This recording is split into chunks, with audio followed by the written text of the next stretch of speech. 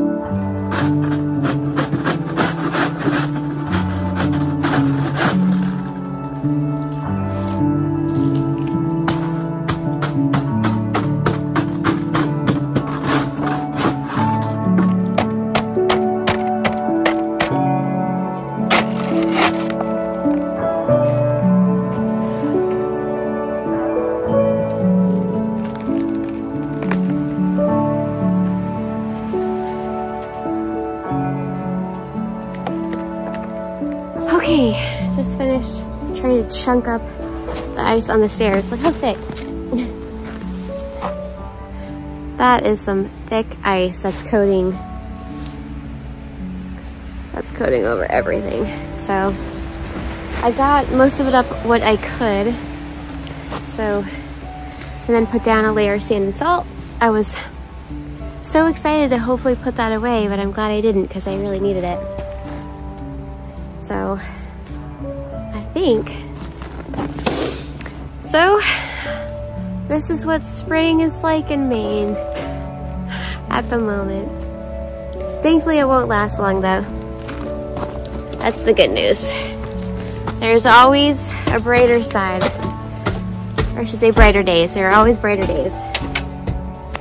It is about seven in the morning here. We just had an ice storm, snowstorm yesterday. And I'm just getting out right now to survey some of the damage. We heard a lot of trees unfortunately snapping last night. I heard reports that unfortunately all over there are trees down, everything snapped just from the weight of all of the ice. So despite that, I'll still try to see some of the beauty. There's a down tree branch right in front, and then looks like one of our pine trees snapped. Look at that. The weight of all of that snow and ice is just a lot.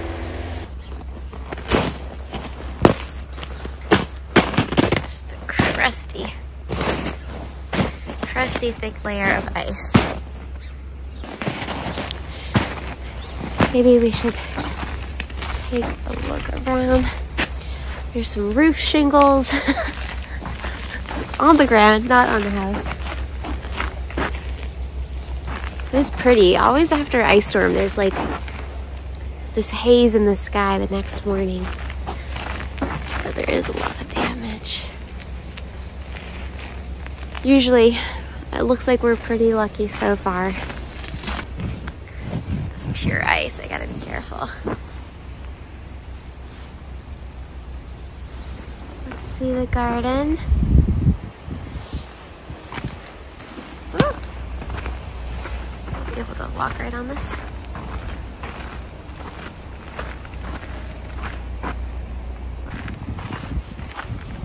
Let's see the back of the house.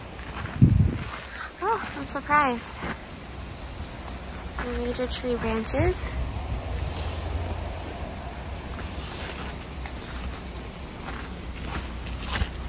I don't think we're getting in the greenhouse today. I don't think I'm going to be doing any gardening outside anyway for a little while. Let's see the backyard. Wherever you are, I hope you're having a seasonable early spring. That's what I hope. Oh, look how sad the arborvitae look.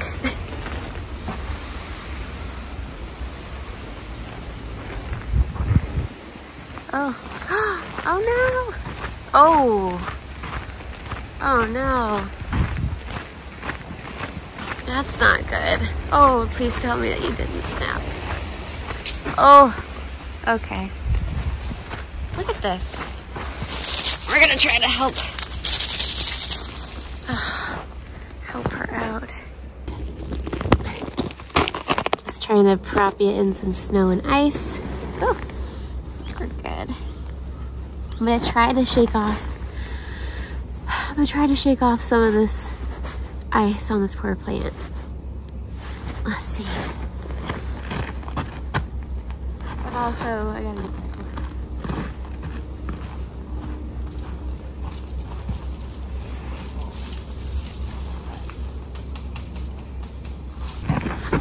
I don't think I can without breaking all of those little branches and that's the last thing I want to do. So we're gonna have to wait until the temperature starts to warm up because I don't want to start breaking all of the little branches. Looks like this area got hit really hard, which is really unfortunate.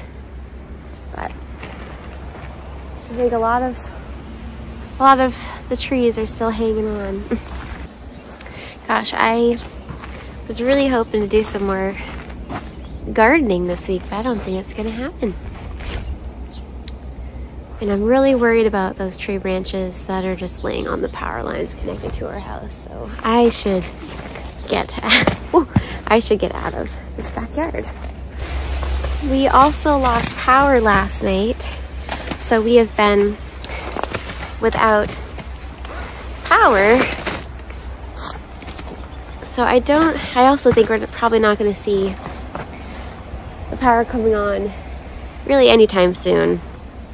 I think until maybe further in the day when things start melting. So I think right now it's about 20, 22 degrees Fahrenheit and we're looking to get high 30s. So I'm hoping there might be a little bit of some melting, although not positive, and I, oh, I should say not hopeful. Not hopeful for a lot.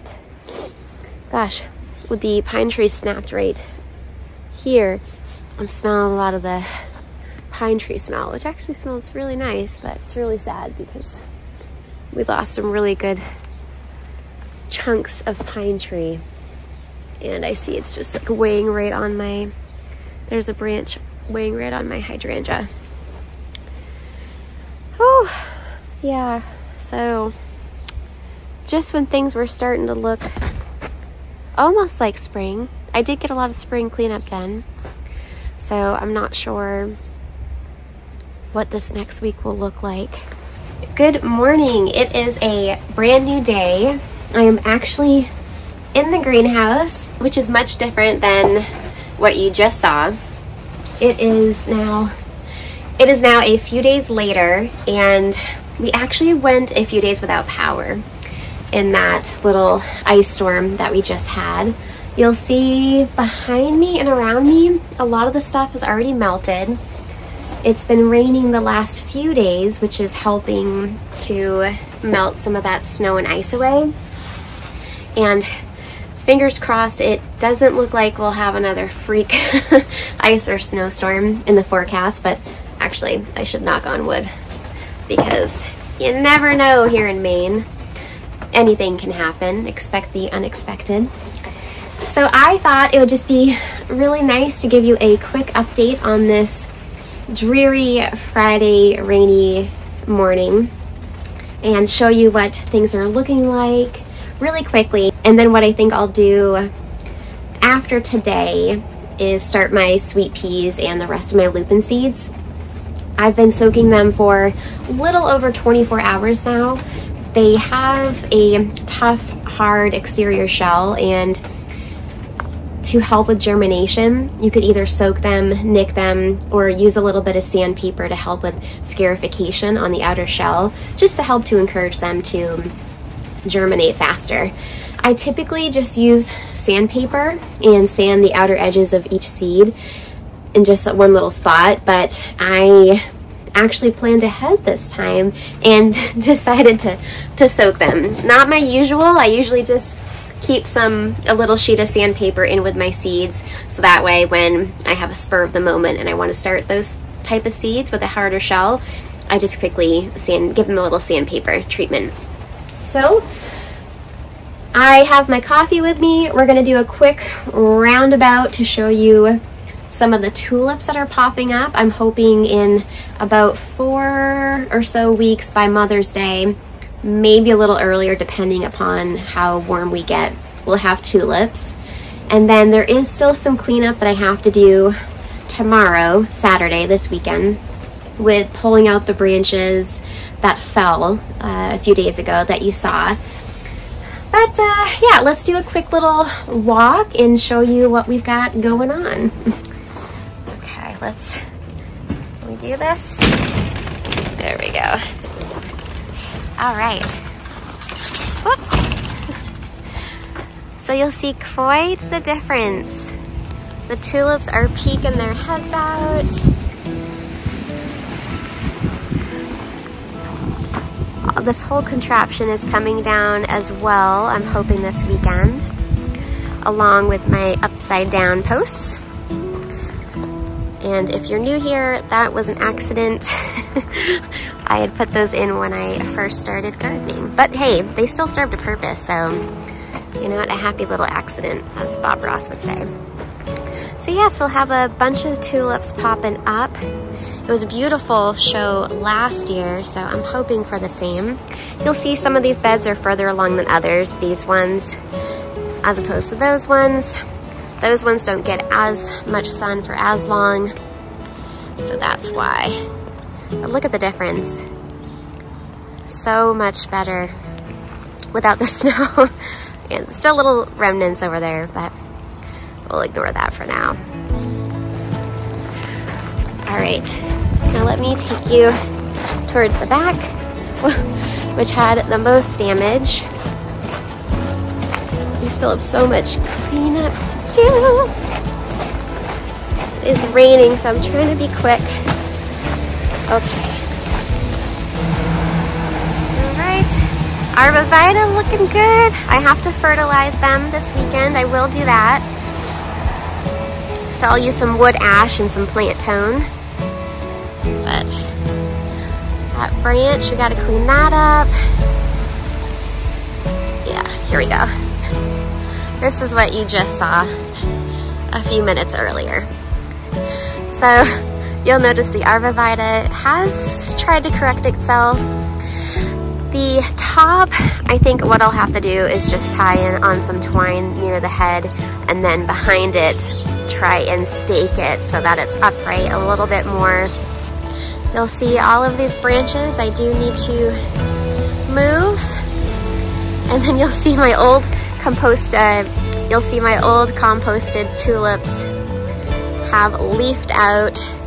I just have started to put things under the pine trees for my little compost beds for now. All right, so I think that about does it for today's video. It's pretty amazing to see how much things change from just a matter of a few days here in Maine. I hope wherever you are, things are starting to look brighter, cheerful, and if you're in the same boat as me and you happen to live in zones five through six or even lower, I hope we start to warm up soon and get to planting because I know we are just all so eager. So I'm gonna run in, get dry, and start my sweet pea and the rest of my lupin seeds. So have a wonderful Easter weekend. Thank you so much for watching and I'll see you next time.